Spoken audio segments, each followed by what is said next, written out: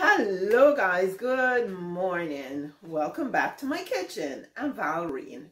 Now, I decided yesterday that I wanted to make some steel cut oats. Now, steel cut oats is very, it's a very hard grain.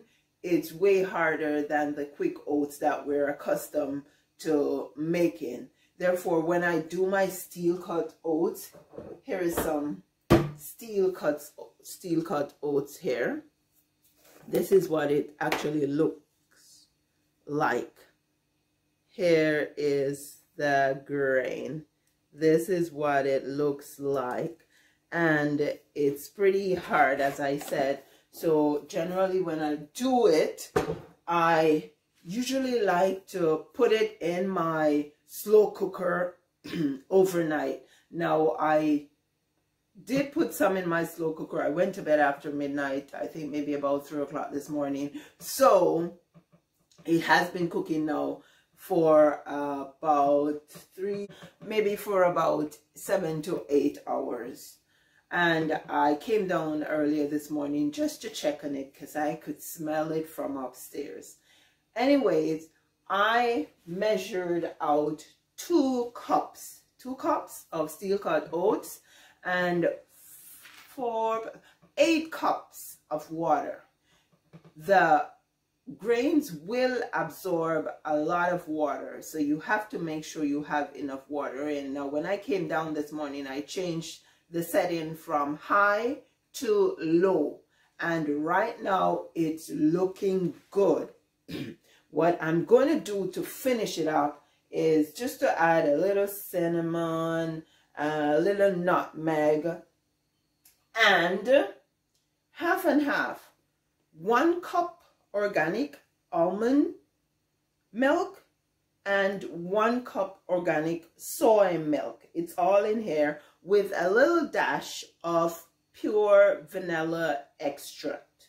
So I'll just go ahead and open up my pot, add all those lovely ingredients in, give it a stir, cover it back, and then leave it to finish doing its thing. Okay, so this is what it looks like right now. It's getting pretty creamy because it has had all that time in the slow cooker to get cooked down and it is very soft. now, any oat is good for you, but steel cut oats is actually chock full of fibers, so it is better for you than quick oats. But I know quick oats is convenient because I actually use it too a lot. Okay, so that's my cinnamon, just about a teaspoon, and nutmeg about a half a teaspoon. I'm going to give it a little stir here. And generally when we make oatmeal back home, when my mom made oatmeal, she would put um, the sweetening agent, which is usually brown sugar in. But I usually don't put any type of sweetener in my porridge when I'm making them. I allow the person who is drinking it to decide how much sugar they want. So that's the soy and the almond. And I'm just going to give it a good stir here. I had already put a little dash of pink salt in when I initially put the steel cut oats to start cooking in the slow cooker before I went to bed. So check this out. See how it's starting to look creamy?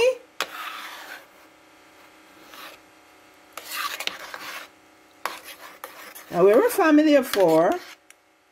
Some people like honey in their porridge and some people like brown sugar. I take a little honey in my porridge. So that's it leave it without the sweetener and then whoever is drinking it will decide what they want. So now I'm going to cover the slow cooker back and I'm just gonna push it in towards the back so I can get the front of the counter to work with and it, I'm gonna turn it back up to high and then in uh, maybe about half an hour to an hour when I'm finishing finished everything else it should be ready to go so see you on the other side with the steel cut oatmeal here we are, guys. My steel cut oats is done. And I have shared up a bowl and I've shared up a few bowls for my family. So we're sitting down to have our brunch. And uh, I think the steel cut oats is very creamy and uh, I won't say it's delicious because that would be floating my own boat or sailing my own ship. So well, I can say it is. It is okay. Thank you very much. So that's a commendation from across the table.